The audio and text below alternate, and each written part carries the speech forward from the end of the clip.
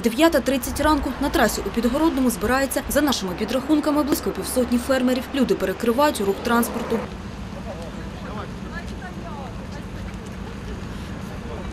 Ми не байдужі те, що відбуватиметься з землею сільськогосподарського призначення. Вимога скасувати зняття мораторію на продаж землі. Фермер Олександр Щербина пояснює, більшість українських фермерів не зможе купити землю через її високу вартість. Якщо відкриють ринок землі, українські селяни залишаться без неї.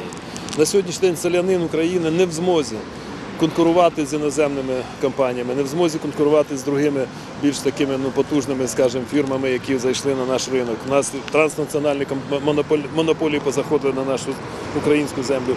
І ми не в змозі будемо конкурувати. Фермер Леонід Семенюк на акцію приїхав з Томаківки. Говорить, продаж землі в Україні має бути, але землями повинні розпоряджатися об'єднані територіальні громади. Продажа землі должна бути, щоб купляла держава, розпоряджалася ОТГ, щоб першоочередне землю получали ті, хто хочуть працювати на цій землі. Це одноосібники і фермерські хазяйства.